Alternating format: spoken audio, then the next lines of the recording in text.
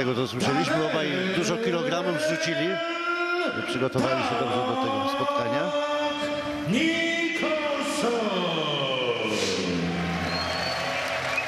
Wywołany The Duck, e, Duck Daniel Nicholson.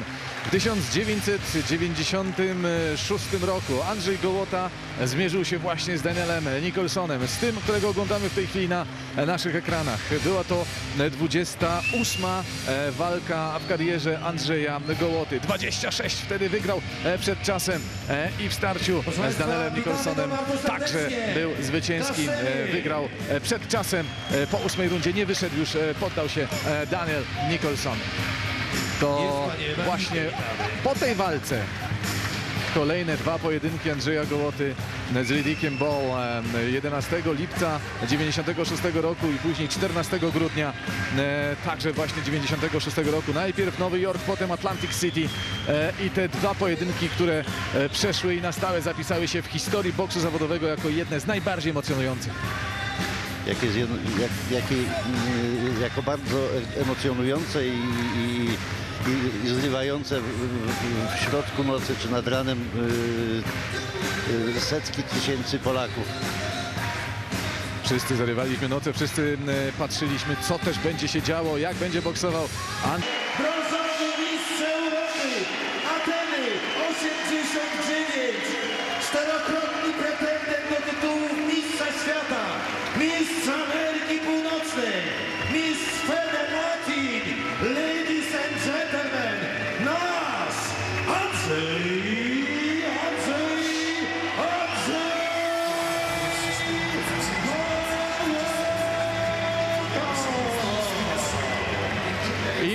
Imponujące wejście Andrzeja Gołoty do ringu, e, to o czym już wspominaliśmy. Znakomita kariera amatorska i później e, pełna przygód kariera zawodowa, e, w której mieliśmy gigantyczną huśtawkę nastroju, kiedy ściskaliśmy kciuki, kiedy później e, zrozpaczeni przeżywaliśmy porażki Andrzeja Gołoty, a on za każdym razem e, powodował, że biły nam szybciej serca, kiedy wchodził do ringu. Te dwie walki z Eddiekiem Ball otworzyły mu tak naprawdę e, ciężarowych.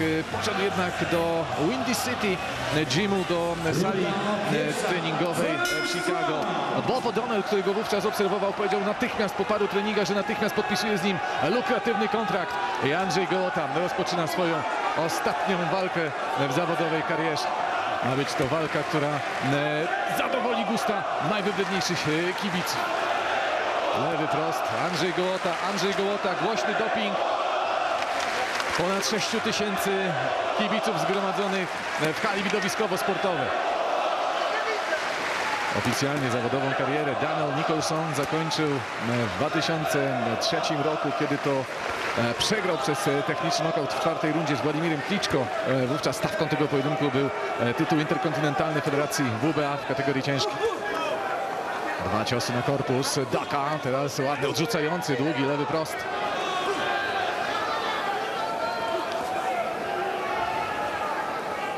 Pytamy Andrzej Tak. Gołota, czy to rzeczywiście będzie koniec kariery, czy to rzeczywiście jest ta ostatnia pożegnalna walka. On sam mówił, że on bardzo chętnie, być może w przyszłości znowu wszedłby do ringu, ale to już bardziej ma pani Mariola Gołota, więc żona Andrzeja Gołoty, która stwierdziła, że to jest chyba odpowiedni moment, by zawiesić rękawice na kołku. Proszę, podwójna garda. Tak czujny, skupiony. Mówi się o tym walka pokazowa.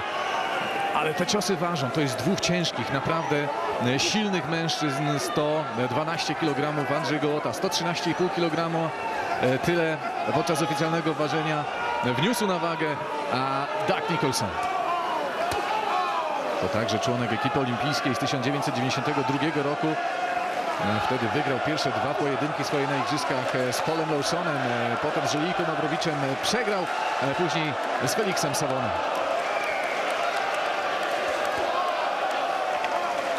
Czyżby jakaś kontuzja, bo skrzywił się.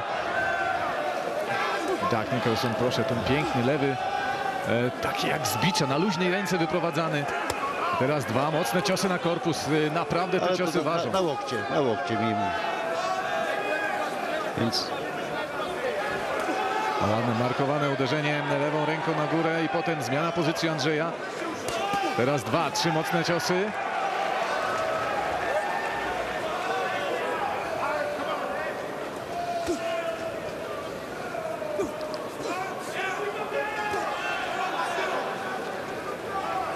Andrzej wchodził do ringu przy utworze Syzyf e, napisanym specjalnie e, dla niego przez e, projekt Nasłuch. Utwór powstał tak naprawdę w 2010 roku. Projekt Nasłuch dwóch artystów RDI i Radek Orzełek. Niestety Radek Orzełek, wielki fan Andrzeja Gołoty, zmarł 10 e, września tego roku i nie doczekał e, tej ostatniej pożegnalnej walki. Koniec pierwszej rundy, pierwszego starcia.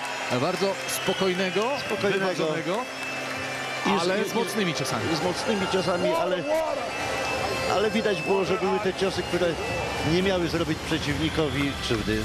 Tutaj proszę zwrócić uwagę, był, e, zaczął od prawego sierpowego, potem lewy sierpowy i lewy prosty. E, tak, Andrzej Gołota. Także dwa ciosy. To o czym wspominaliśmy. Daniel Nicholson, potem dwa mega pojedynki z Ericiem Ball. Zaskakująca porażka z Lennoxem Lewisem. E, już e, w 95 sekundzie przegrał Andrzej Gołota swoją pierwszą walkę o tytuł Mistrza Świata. Czterokrotnie w sumie podchodził e, do walki o tytuł. W 2004 roku dwukrotnie. Najpierw 17 kwietnia, jak pamiętamy, z Chrisem Birdem e, Madison Square Garden w Nowym, w Nowym Jorku. Remis po 12 rundach. Remis, która wtedy hala przyjęła buczeniem. E, I 13 listopada właśnie 2004 roku starcie z Johnem Ruizem. Jednogłośna porażka na punkty. Pamiętam, miałem przyjemność obserwowania tej walki właśnie w Madison Square Garden, kiedy weszliśmy do szatni Andrzeja Gołoty. Siedział ze spuszczoną głową, zobaczył nas, podniósł głowę i powiedział, co jeszcze, co jeszcze muszę zrobić, jak udowodnić sędziom, że zasługuje na pas Mistrza Świata. Wtedy z tego tytułu został okradziony.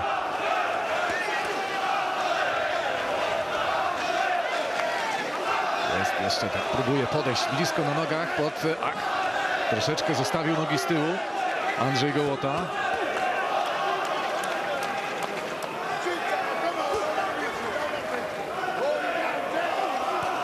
Oliver McCall, był mistrz świata wagi ciężkiej, e, który jest w narożniku Nicholsona, podpowiada i krzyczy, żeby dużo częściej używał lewego prostego Andrzej Gołota. E, D- Doug Nicholson oczywiście.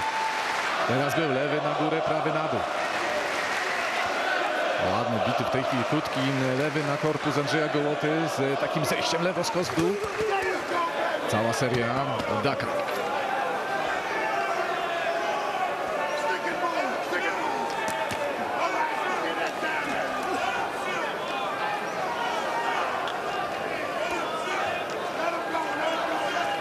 Również trzeba dodać, że mm, duży wpływ na to, jak się potoczyła y, dalsza kariera Andrzeja, y, miała ta kontuzja lewej ręki, y, gdzie można powiedzieć, że tak na dobre do końca nigdy nie uzyskał, nie uzyskał sprawności. Tak. E, Wiele tych operacji mięśnia w prawej ręce. Tam praktycznie była dziura olbrzymia. Długo trwała rehabilitacja. Pamiętamy Ellie Dixon, Jack Basting, Corey Sanders. E, także dramatyczny e, pojedynek wygrany przez Andrzeja jednogłośną decyzją sędziów w Atlantic City. I później pierwsza walka w kraju, a więc e, Wrocław i e, 2 października 1998 roku Andrzej zmierzył się z Timem Witherspoonem, wygrał jednogłośną decyzją sędziów po 10 rundach. Potem wrócił do, do Stanów Zjednoczonych na walkę z Jesse Fergusonem i znowu Wrocław i Queen Navarre wygrana przez techniczny knockout w szóstej rundzie.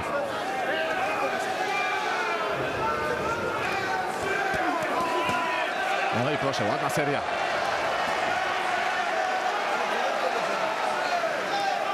Patrzy dokładnie, gdzie uderzyć. Doug Nicholson, dwa ciosy na głowę, wtem zakończył tę akcję e, lewy na korpus. Ładne zejście, ładny unik Andrzeja Gołoty.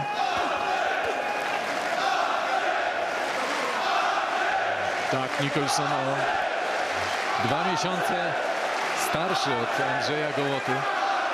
46 lat ma Andrzej Gołota. Teraz schowany za podwójną gardą. Wyprowadził teraz, e, zaczął od prawej ręki, prawy sierpowy, później lewy.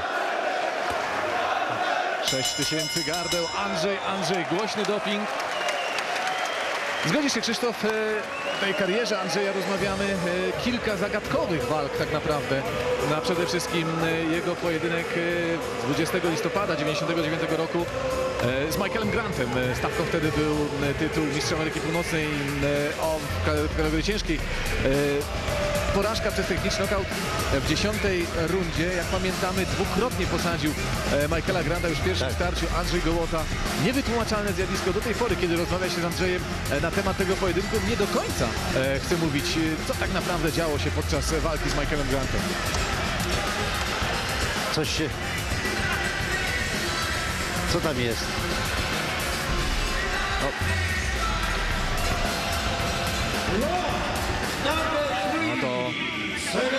naszych ekranach.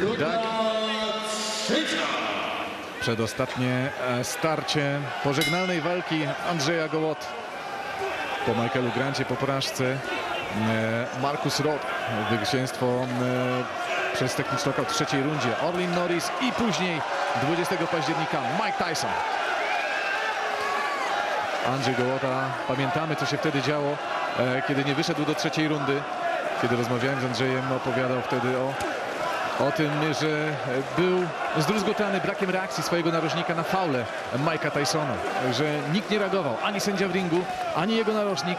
Tymczasem kontuzja, jakiej już nabawił się w drugiej rundzie, mówi, no, przerażała go myśl stoczenia jeszcze kilku rund z Mike'em Tysonem, będąc kontuzjowanym, wiedząc, że nie ma pomocy ze swojego narożnika. Luduwa wtedy był jego trenerem, dlatego zdecydował się Andrzej Gołota nie wychodzić do trzeciej rundy. Niesłusznie Andrzej wtedy zebrał dużo niepochlebnych komentarzy, no ale ci, co krytykowali, nie, nie, Kamienie milowe w jego karierze, o której wspomnieliśmy, Dana Nicholson, Riddick Ball. To od tych dwóch walk tak naprawdę wszystko się zaczęło. E, Dwóch przegranych, ale które spowodowały, że tak naprawdę na dobre świat usłyszał Andrzeju Gołocie i stał się absolutną czołówką wagi ciężkiej. Potem Lennox Lewis, Michael Grant, Mike Tyson, no i walki mistrzowskie. Chris Bird, John Ruiz i Lyman Brewster. Pamiętamy ten pojedynek i techniczny knockout już w pierwszej rundzie w ciągu 53 sekund. Trzykrotnie Andrzej Gołota e, lądował na deskach. Tu jeszcze taką ciekawostką tego pojedynku jest, że e, sędzią ringowym jest Robert Gortat, e, syn Janusza Gortata, tak. dwukrotnego brązowego medalisty olimpijskiego, a trenera e, Andrzeja. Gołota. Proszę zobaczyć, lewy, lewy, lewy i piękny prawy, prosty Nicholsona.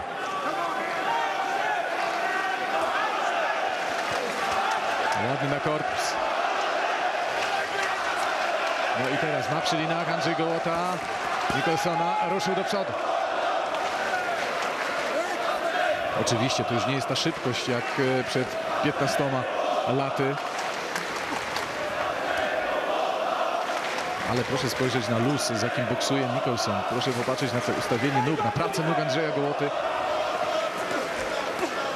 To są instynktowne e, rzeczy, wyuczone, które się w zasadzie piękny teraz, bo ten lewy sierpowy, krótki. Dwa ciosy na korpus.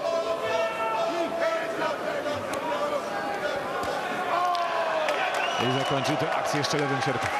Prawy sierpowy na korpus. Znowu szuka tam dołów Andrzej. Stara się gdzieś tam pod te rękawice. Teraz musi uważać jednak. Dobrze, że ta karta jest trzymana, bowiem te ciosy...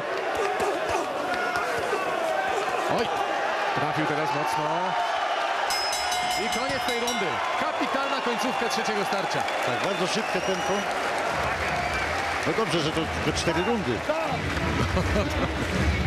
Proszę zwrócić uwagę, jest już e, jest zmęczony Andrzej Gołota. Tadeusz Romański, on przygotowywał Andrzeja do tego pojedynku. Andrzej siedzi tlem, Duck Nicholson stoi w swoim narożniku.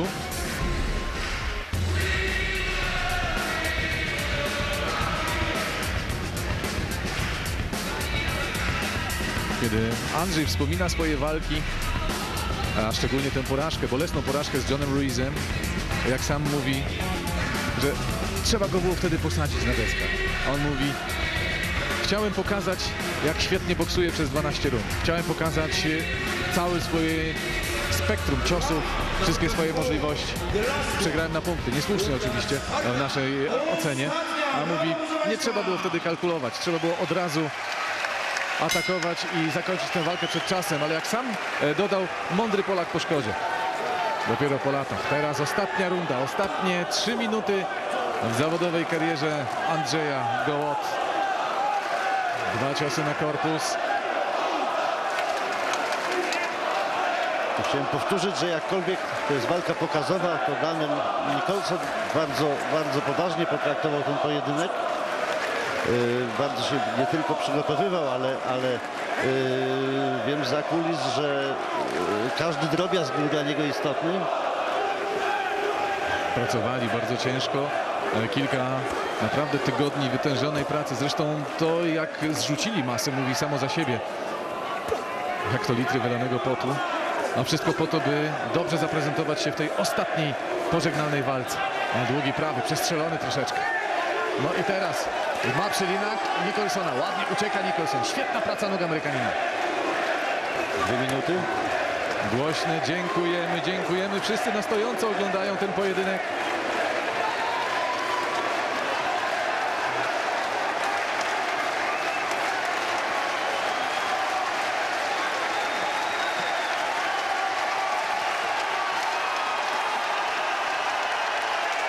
Jest coś niesamowitego, co się dzieje tutaj w hali w Częstochowie.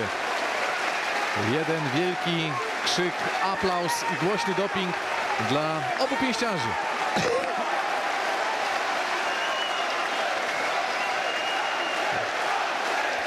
Andrzej, Andrzej, cały czas Andrzej Gołota jest tym pięściarzem, który piękny trafił teraz długim lewym prostym. Znakomicie trzyma dystans e, Daniel Nicholson. Kapitalnie neutralizuje balansem ciała siłę ciosów Gołoty. Schowany za podwójną gardą teraz. Ładnie przyjął tę serię Nicholsona.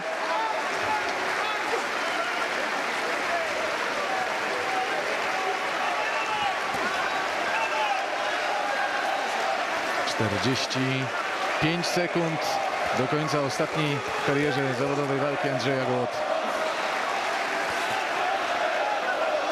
Te cztery e, rundy przeboksowane naprawdę w szybkim tempie.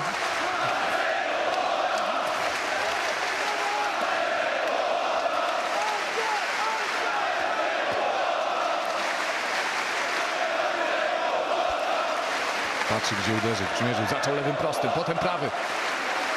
Widać, że Nicholson jest mimo wieku jest nadal bardzo szybki. Tak, znakomite wyczucie dystansu, świetna praca na nogach, e, znakomity. Proszę zwrócić uwagę, o, to jest cały Doug Nicholson i popis jego umiejętności.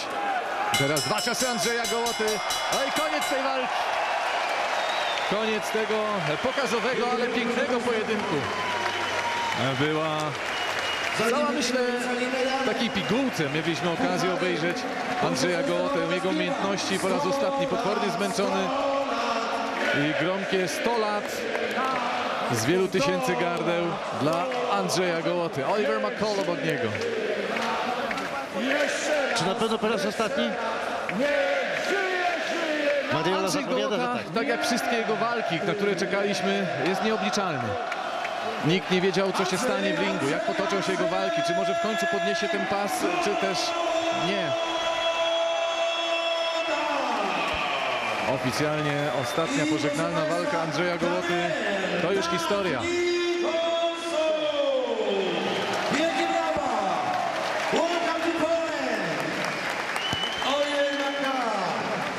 Specjalny tort przygotowany dla. Andrzeja Gołoty z okazji jego ostatniej walki. Runda honorowa wspólnie z Duckiem Nicholsonem. Dziękujemy bardzo za piękny pojedynek. Jakby mieli po 20 lat, 22 lata, 20, 22 lata. Tyle trwała zawodowa kariera Andrzeja Gołot. 52 stoczone walki, 41 zwycięstw, 33 przed czasem, 9 porażek, 1 remis. Remis z Chrisem Birdem w walce o tytuł zawodowego mistrza świata. te wszystkie piękne podarunki, upominki. Teraz mnóstwo podarunków, upominków. To wszystko dla Andrzeja Gołot. Wspominałem o tych e, kamieniach milowych, o tych znaczących e, walkach Andrzeja, ale tak naprawdę za każdym razem, kiedy e, wychodził do ringu, wszyscy wstrzymywali oddech. Wędruje do pana prezydenta Krzysztofa Matejaszczyka, czyli mistrz Federacji y, Mistrz Ameryki Północnej. Proszę państwa, teraz czekamy na ten tort. Bardzo proszę. Mistrzu, czyń swą powinność. Za moment A my, proszę Państwa, możemy bić brawo cały czas.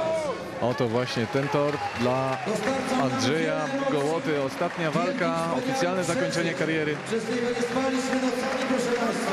Cztery pokazowe, wspaniałe rundy, jakie stoczył z Dakiem Nicholsonem. Z tym samym, którego w 96 roku pokonał przed czasem w Atlantic City.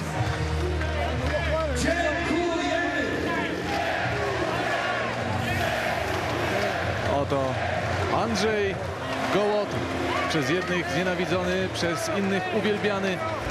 Nietuzinkowa postać, jeden z najwybitniejszych polskich pięściarzy wagi ciężkiej w boksie zawodowym.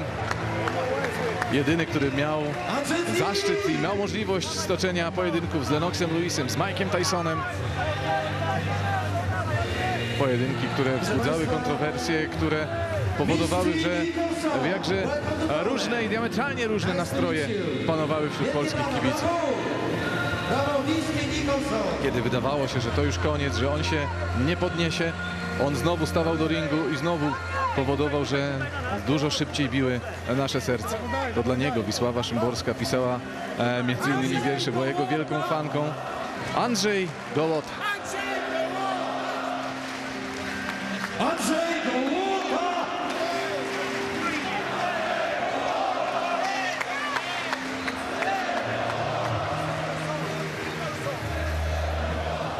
Wspaniała, wspominaliśmy o tym, kariera amatorska, później znakomita, pełna wzlotów i upadków kariera zawodowa. Andrzej Gołota dzisiaj oficjalnie żegna się z kibicami.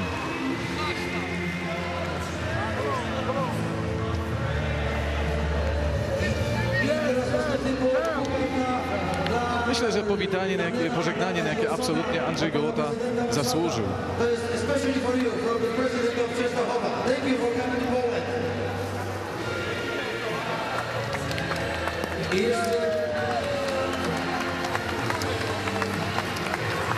Jeszcze... Jeszcze, mamy na, na, proszę Państwa, dla Olivera Mancola. Especially for Oli- Oliver. This is for you. This is for you. Puchar wręczy, proszę Państwa, marszałek województwa śląskiego Kazimierz Karolca. No i rzeczywiście pojawia się pytanie, czy to tak definitywne pożegnanie, pytanie, które zadał m.in. Krzysztof Kraśnicki, z którym miałem e, przyjemność współkomentować e, ten pojedynek. Wydaje się jednak, że to już definitywne, ostateczne pożegnanie Andrzeja Gołoty z zawodowym boksem. Jak potoczy się przyszłość e, Andrzeja, co będzie dalej robił? Mówi się o tym, że być może poświęci się pracy e, szkoleniowej, że by przekazać to swoje niezwykle bogate doświadczenie młodym adeptom sztuki walki na pięści. Który zdobył Andrzej, zostaje na stałe w Częstochowie na ręce pana prezydenta. Bardzo prosimy pana Krzysztofa Matejaszczyka. Andrzej, który Ten pas, proszę bardzo. Może pas założymy mistrza Ameryki. Północnej, który e, swego czasu wywalczył Andrzej Gołota, został przekazany w ręce pana prezydenta Krzysztofa Matejaszczyka, pana prezydenta e, Częstochowy, a to ostatnie, najlepsze akcje pokazowej walki Andrzeja Gołoty z Danielem Nicholson. Walka szybka, walka dynamiczna, obfitująca w liczne akcje, obfitująca w liczne ciosy i mimo, że niepunktowana, myślę, wzbudziła sporo emocji. Ładny, piękny był prawy, potem bezpośredni lewy na szczękę e, Nicholsona.